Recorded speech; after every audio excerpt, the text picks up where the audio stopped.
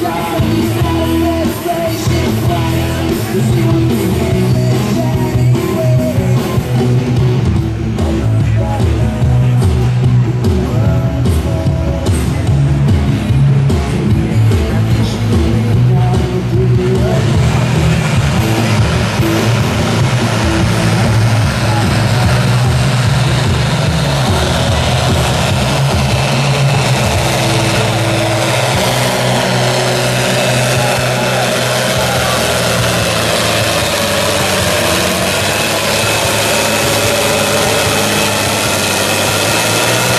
All right, give it up, John Deere fans. Good looking, 44-30, Keith Bohaboy out of Howells, Nebraska.